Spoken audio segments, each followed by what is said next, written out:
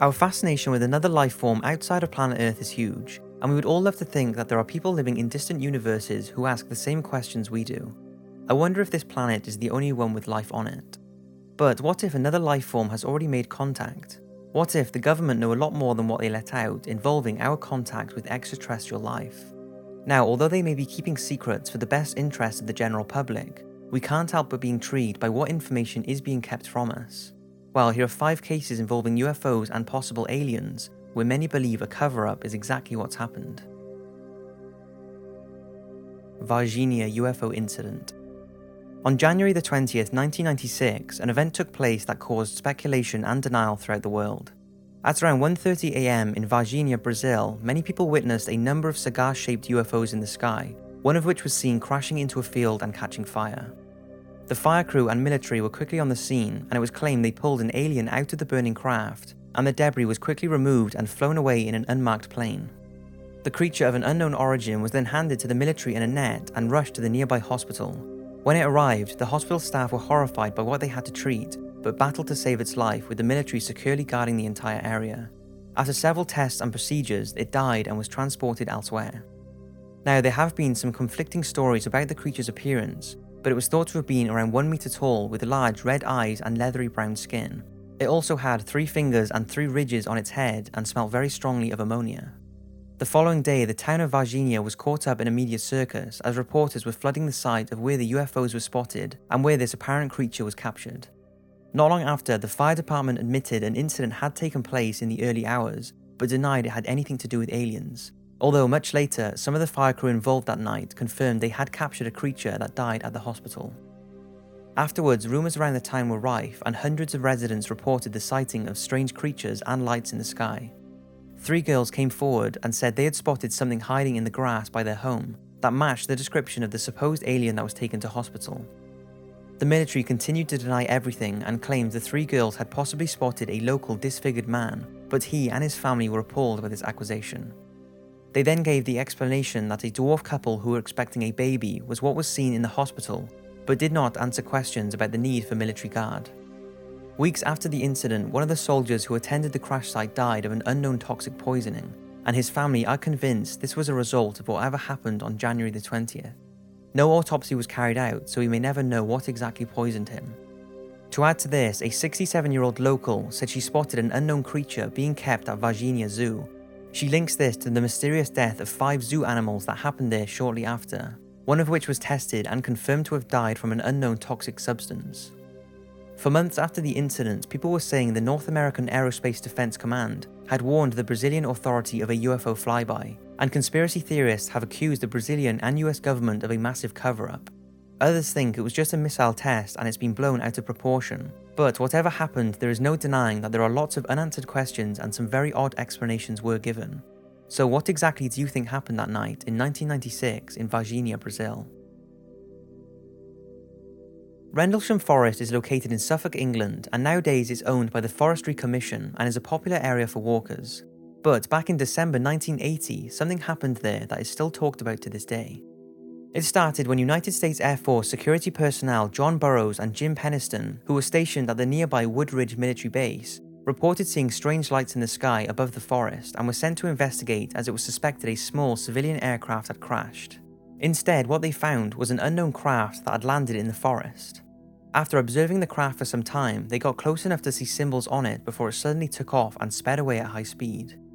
The site was thoroughly analysed and showed a triangular shaped indentation in the ground, along with scorch marks and significantly raised radiation levels in the area, Two nights after the incident, the unknown craft apparently returned, and this time it fired light beams at the men who went to investigate, and into an area of the Woodbridge RAF base.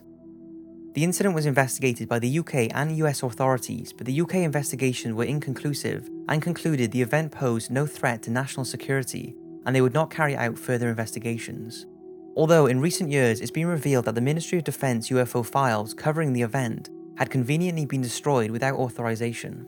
This and the fact that the US apparently removed various items relating to the case from the nearby airbase without proper authority has aroused the suspicion that something was being covered up. To this day, the case remains unsolved, although it's interesting to note what the former Chief of Defence and Chairman of the NATO Military Committee, Lord Hill Norton's thoughts on it all are. He said this There are only two explanations for what happened that night in Suffolk.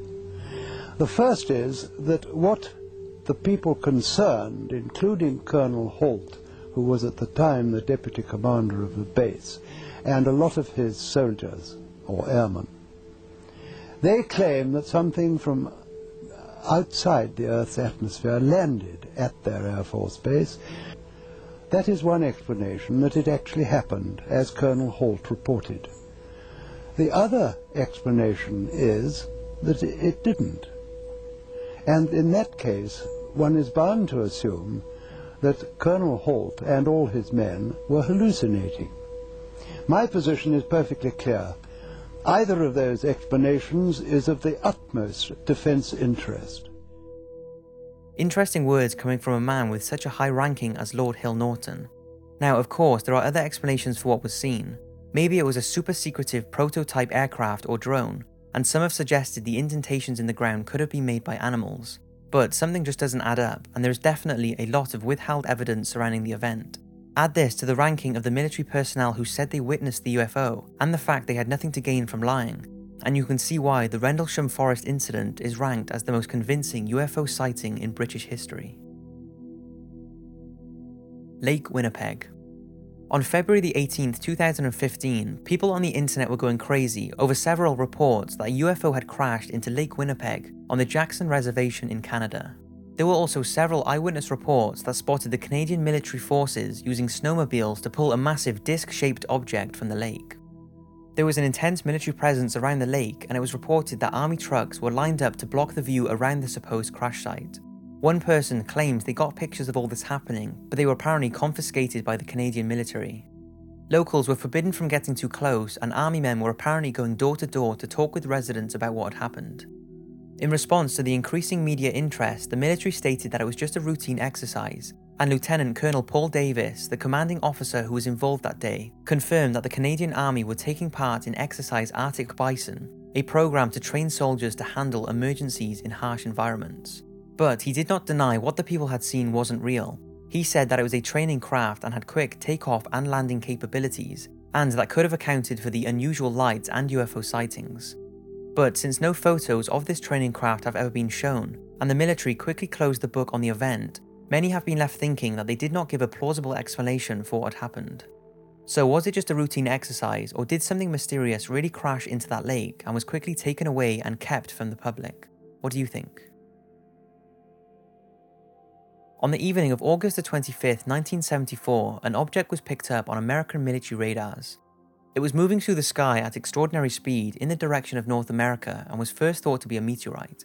Then it abruptly changed direction and was on course to enter US airspace over Texas, confirming it couldn't be a meteorite. The US ground crew were baffled as they watched it disappear on the radar whilst travelling over the village of Coyame in Chihuahua, Mexico. Shortly after, a message was broadcast over the Mexican radio that a light aircraft had gone missing over the region of Chihuahua. After search parties were sent out, they found the wreckage of a small civilian plane and a circular craft. However, not long after the Mexican authorities issued the report of the crash, nothing more was said, and despite the US offering help with the incident, the authorities did not want any help. A Mexican recovery team set about clearing the site, but unbeknown to them, they were being closely monitored by an American satellite that was watching what they were up to. Apparently, the Mexican recovery team seemed to be in shock and were not actively making efforts to recover wreckage, and the US could also see dead bodies lying around the area. Concerned, the US military moved in to assist despite being rejected and found the Mexican recovery team dead. They had attempted recovery without biochemical protection suits and contacted some kind of deadly virus. The rumour is that the Americans gathered all the dead bodies and crashed debris, including a mysterious polished cylinder, and took it across the border back to the US, before destroying the crash site with explosives. To this day, both the Mexican and US government deny any such event took place, and Coyame newspaper records from that month are missing. The only record of the incident appears to be a small article from a local publication dated October 27, 1974, two months after the event. It reported that a group of Mexican soldiers had died during a military transportation. With the information given, it sounds hard to believe, but there are tons of stories from Coyame residents of them witnessing the craft crashing and the strange military behaviour following the incident. One local said, We saw the aeroplane which had already crashed and was in flames. I think someone came along and took the evidence. We never heard anything else about what happened out there. Pretty interesting, but there is another possible explanation that doesn't involve aliens, and that is that it was a US test missile that hit a small civilian aircraft, and the US went over there and killed the Mexican rescue team to cover their tracks. So, was it all a hoax, a US test gone wrong, or did something of alien origin really collide with a small civilian aircraft and crash into the ground in Coyame, Mexico? Roswell.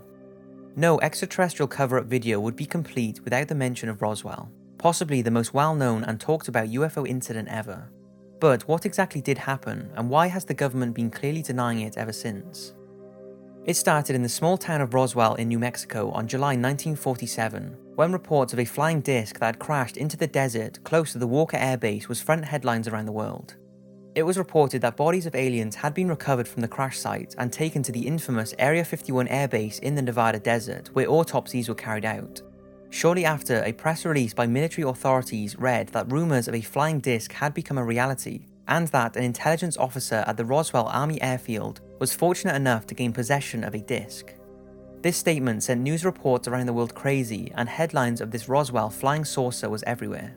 But just 24 hours later, the military changed their story, saying they were mistaken and the flying disc was in fact a weather balloon. Unbelievably, the public seemed to accept this explanation, and very little was said about the crash for many years after. It wasn't until the late 1970s that some military involved started to speak out, and UFOologists and conspiracy theorists went into overdrive, sparking the Roswell case like we all know it today. One of the first people to speak out was Major Jesse Marcel. He was one of the two military personnel to visit the crash site, and the other was Sheridan Cavitt, who had always denied ever being there. Marcel described how debris was scattered over a large area and had obviously hit the ground at high speed.